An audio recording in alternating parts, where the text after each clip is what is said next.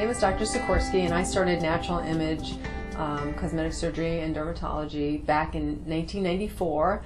Um, I started it because I felt there was a need for a natural, um, for natural looking procedures. Uh, what I was seeing in the world and out there um, with cosmetic surgery and even cosmetic dermatology was an overdone or um, overfilled look, and I was looking to create in my patients and in my practice a very natural, unsurgical look. We now are terming um, the new age of natural, and it's um, it's been very fun and uh, very successful because our patients come in and they look better, they look enhanced, uh, they don't look like they've you know been overtreated, they don't look um, uh, abnormal or unusual looking.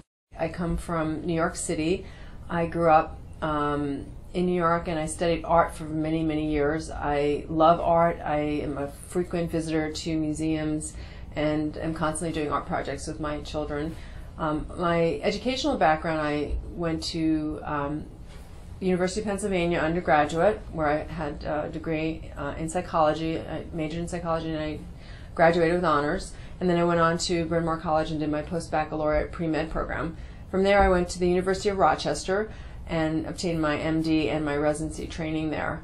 Um, I then moved back to California because of the weather. Um, it's such a beautiful place to live and because of the healthy outdoor lifestyle.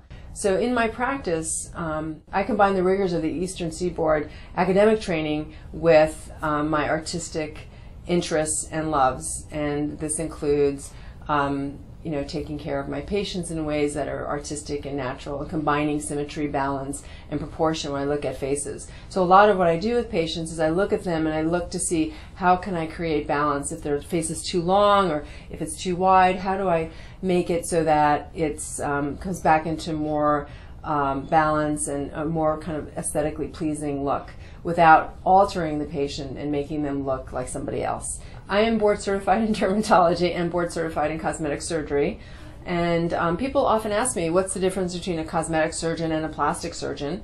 And I tell them that the difference is that cosmetic surgeons are specifically trained in cosmetic surgery. What I tell patients is the most important thing when choosing uh, plastic surgeon, cosmetic surgeon, is to think about you know, do they have a good eye? Are they on the same page as you as what you want to achieve?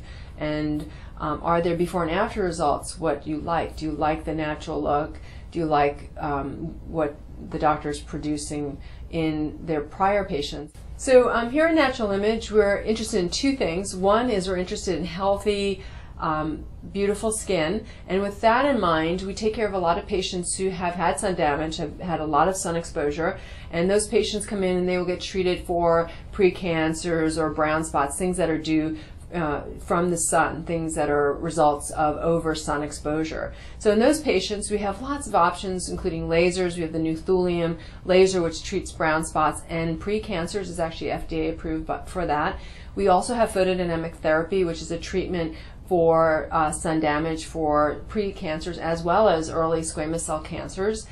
And we also do Mohs uh, surgery for skin cancers. That's one of our missions is to, you know, to enhance patients' uh, health of their skin.